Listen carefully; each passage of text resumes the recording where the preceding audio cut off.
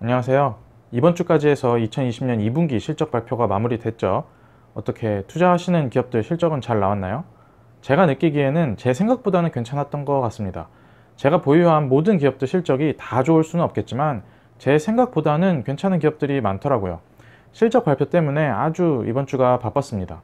실적 발표와 함께 주가도 상승세로 끝났으면 연휴가 굉장히 깔끔했을 텐데 14일 그러니까 금요일 시장이 그렇게 좋지는 않았죠. 아무래도 차익 실현 욕구도 많이 있을 테고요. 7월 중순 이후부터 8월 중순까지는 진짜 엄청난 시장이었던 것 같습니다. 원래 연간 수익률이 20에서 30% 정도 되면 상당히 준수한 수익이거든요. 그 연 30% 수익이면 매 2년 반마다 원금이 두 배씩 불어나는 엄청난 속도예요. 그런데 이번 7월에서 8월 장은 한두 달 만에 막 30%씩 뽑히고 그랬거든요. 진짜 웬만한 섹터 빼고는 자산주까지 돌아가면서 좋았습니다. 잘 보시면 주식하는 유튜버들 뿐만 아니고 블로거나 주위에 투자 조금 한다는 투자자들 보면 이번 8월을 이용해서 현금을 좀 확보한 것을 볼 수 있어요. 이게 뭔가 그 사람들이 특별한 로직이 있거나 insight가 있어서 그런 것이 아니고 그만큼 8월 실적 발표 시즌 전까지 시장이 굉장히 뜨거웠습니다. 저도 마찬가지로 제 기준에 맞게 현금화를 이번 주에 착실히 진행을 했고 지금 현재 포트에 20% 정도는 현금을 마련한 것 같아요. 주로 6월 이후에 매수한 종목들 중에 급등 터진 것들을 집중적으로 매도했습니다. 자 이렇게만 제가 이야기하면 마치 제가 매도를 그냥 주가만 보고 대충 한 것으로 생각하실 수도 있을 것 같은데요. 그렇진 않거든요. 이게 제가 오늘 이야기하고자 하는 이슈와 연관이 쭉 됩니다. 한번 쭉 들어보시면 도움이 될 거예요. 시장을 조금 더 보면 14일에 금요일에 2차전지 섹터가 특히 급락을 했습니다. 물론 오른 것 대비하면 이 정도 떨어진 것은 뭐 살짝 흔들린 수준인데요. LG화학, 삼성 SDI, SK이노 같은 대표 대형주가 5% 넘게 빠졌어요. 금요일에 왜 이렇게 2차전지 섹터가 흔들렸냐면 물론 많이 올라서 그랬겠지만 그거 외에 모건 스탠리에서 리서치 리포트가 하나 나왔습니다. 이거는 내용 설명할 것도 없이 제목이 곧 내용이었어요. 제목이 No More Upside였습니다. 이미 목 끝까지 올랐다는 것이죠. 오를 만큼 올라서 upside가 더 이상 없다는 건데 저는 지금 2차전지 관련 주식이 전혀 보유하고 있지 않기 때문에 여기에 대해서 맞다 틀리다 이야기하고 싶은 생각은 없고요. 중요한 것은 바로 이 지점에서 투자자가 나뉜다는 것을 이야기하려고 하는 거예요. 오늘 2차전지 섹터가 낭장판이 되다 보니까 카페나 종토방 같은 데서 난리가 났었죠. 제가 바로 저번 영상에서도 이야기했던 것 같은데 주가가 빠지면 결국 남는 것은 기업과 실적 그리고 가격밖에 없거든요. 주가밖에 없거든요. 꼭 2차전지뿐만 아니고 모든 종목이 마찬가지인데 오를 때에는 내가 이 기업을 알고 분석하고 공부하고 이해하고 적당한 멀티플은 얼마를 줘야 하는지 판단을 하고 산 것이 아니라면 그냥 오르니까 냅다 사서 마냥 기분만 좋은 것인지 뭔지 분간이 굉장히 어렵습니다. 어차피 오르니까요. 그리고 주식이 오를 때는 뭔가 뉴스 기사만 봐도 내가 그 분야 전문가가 될 것 같고 뭐 그렇거든요. 예를 들면 전기차가 앞으로 보급된다는 기사만 봐도 그게 그래서 뭐가 어떻게 내 주식에 영향을 미치는지 구체적으로 생각은 안 해보고 그냥 마냥 흐뭇하죠. 내가 투자한 2차 전지가 앞으로 계속 갈 것 같거든요. 뭐 구체적인 근거는 없이 기사만 봤을 때 예를 든 것이지 2차 전지 섹터가 뭐가 어떻게 될 것이다 라는 말은 아닙니다. 그런데 이게 주가가 이런 상태가 주가가 떨어지게 되면 완전히 반전돼요. 기업을 보고 이해하고 멀티플을 얼마를 줘야 하는지 판단을 하고 매수를 하면서 홀딩하는 사람은 가격이 떨어지면 판단이 됩니다. 내가 생각하는 멀티플은 최소 몇 배인데 지금 가격이면 사야 하는지 홀딩해야 하는지 팔아야 하는지 판단이 돼요. 근데 그냥 가격만 보고 그러니까 오르니까 들어간 사람은 아예 판단이 안 됩니다. 그래서 단 며칠만 하락이 지속되거나 장이 흔들리면 바로 털리는 게 대부분이에요. 제가 어떤 글을 봤는데 그분은 SK 이노베이션 급등할 때 최고점에서 매수를 한 것 같더라고요. 아마 급하게 6월 이후에 시장에 진입한 사람이 상당 부분 이런 상태일 텐데 그냥 마냥 급해서 매수를 한 것이죠. 주가가 오르니까. 근데 2차 전지 섹터가 그 이후에 하락이든 조정이든 지금 주가가 약간 떨어졌어요. SK 이노도 대충 15%는 며칠 만에 빠진 것 같더라고요. 근데 이 사람이 아무 매수 근거도 적어 놓지 않고 그냥 팔아야 하는지에 대해서만 글로 묻더라고요. 되게 걱정하면서. 이걸 묻는다고 다른 사람이 대답을 할 수 있을까요? 이게 전형적으로 가격만 보고 들어갔다가 가격 빠지니까 아무 근거도 없이 방황하게 되는 케이스입니다. 4월 이후 시장은 아주 좋았어요. 아무거나 사도 대충 30% 50%잘 사면 뭐 100%씩 오르는 장이었으니까 투자가 너무 쉬웠죠. 투자를 올 4월부터 시작한 사람들은 아마 구름 위에 있는 기분이었을 겁니다. 그냥 아무거나 사면 오르는 시장이었으니까요. 그런데 제가 아는 선에서는 투자가 이렇게 그냥 마냥 오르기만 한 시장은 지금까지 없었거든요. 모든 자산군이 마찬가지인데 자산시장은 직선 운동을 하지 않습니다. 제 지난 영상들 보시면 제가 이 이야기를 거의 매번 하락 구간에서 이야기를 했던 것 같은데 상승하는 시장에서도 마찬가지예요. 자산 가격은 직선 운동을 하지 않습니다. 물론 14일, 8월 14일의 하락이 하루짜리일 수도 있겠죠. 미국과 유럽 지표가 잘 나오고 주요 기업들이 급등하면 다시 상승을 이어갈 수도 있겠지만 그거랑 상관없이 기본은 항상 똑같아요. 결국 기업과 가격이거든요. 산업과 기업과 가격을 이해해야 가격 변동이 나왔을 때 기준을 잡고 매수든 매도든 홀딩이든 실행을 할 수 있습니다. 사람들은 흔히 상승장에서만 수익을 낼 수 있다고 착각을 하죠.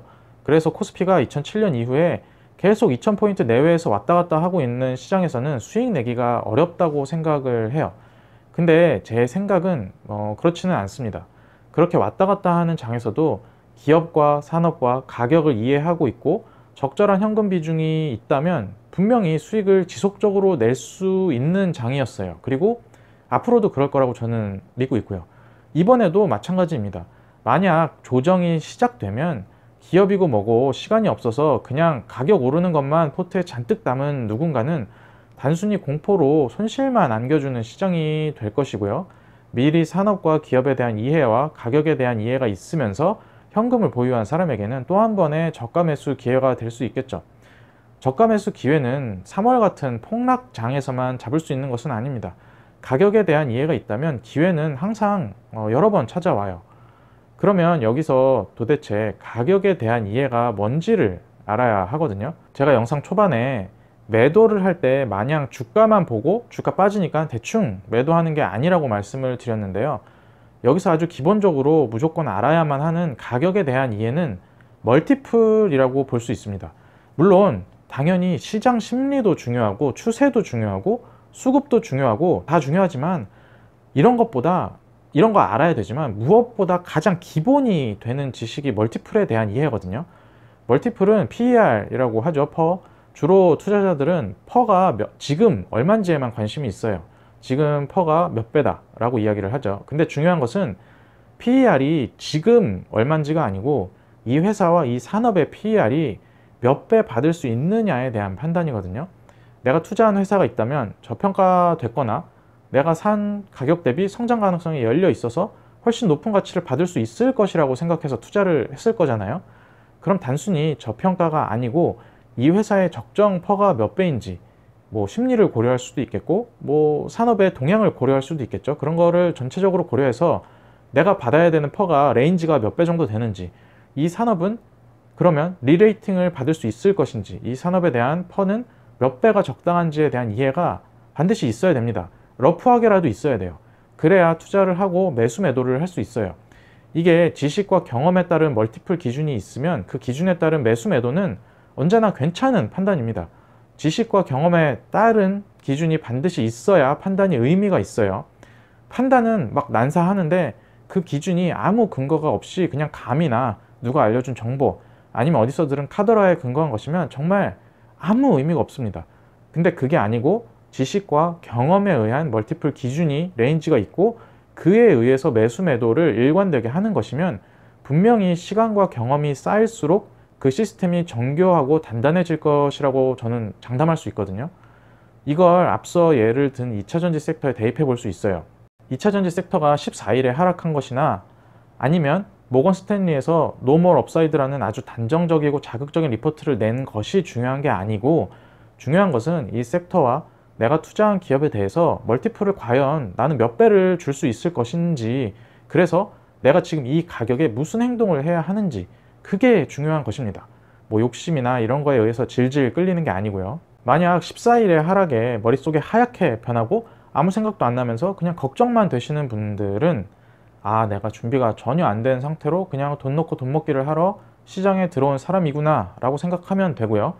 이런 하락에 만약 이 하락이 더 지속돼서 주가가 내려온다면 나는 내가 보유한 기업을 어떻게 할 것이고 나는 무슨 기업을 어떤 이유로 이 가격 아래에서는 분할 매수해야겠다 라는 생각부터 확 떠올랐다면 이미 준비가 된 사람이라고 할 수 있겠죠. 만약 시장이 살짝 흔들리고 그냥 계속 상승한다고 해도 전자에 해당하는 분들은 반드시 본인 점검을 하고 넘어가시는 게 좋다고 생각을 해요. 8월 14일에 증시가 조정을 받았지만 이게 조정의 시작이 될지 아닐지는 아무도 모릅니다. 하락장에서 계속 이야기했던 것인데 하워드 막스가 말한 것처럼 시장의 방향이 아닌 위치만 판단할 뿐이죠. 2019년의 하락장이나 2020년 3월의 폭락장에서는 심리를 제거하고 보면 주어진 가격에서 투자자가 감당해야 할 리스크보다 기대할 수 있는 이익이 극단적으로 높았던 시장이었어요. 그 판단의 근거는 뭐 금리라든지 기업의 활동 같은 기본적인 이해를 바탕으로 해야겠죠. 지금은 어떤 상황이냐면 판단 기준에서 금리가 마이너스로 가거나 제로에 붙어버려서 기준점이 희미해진 상황입니다. 그래서 기술적으로만 봤을 때 주식시장의 상방이 열렸다는 이야기가 계속 나오는 것이고요. 그래서 이런 희미한 시장에서 개별 기업에 대한 판단과 실행을 하려면 무조건 앞서 말씀드린 가격에 대한 이해를 하고 있어야 된다는 겁니다. 지금이 고점인지 앞으로 어떻게 될지 방향은 아무도 모르고 그런 것을 이야기해주는 전문가 영상도 투자에 도움이 하나도 안 돼요. 중요한 것은 일관된 기준에 의해 연속된 판단을 이어가면서 시스템을 만드는 것이죠. 이렇게 이야기해도 분명히 댓글에 그래서 지금 오른다는 거야 내린다는 거야 라고 이야기하는 게 달릴 거예요.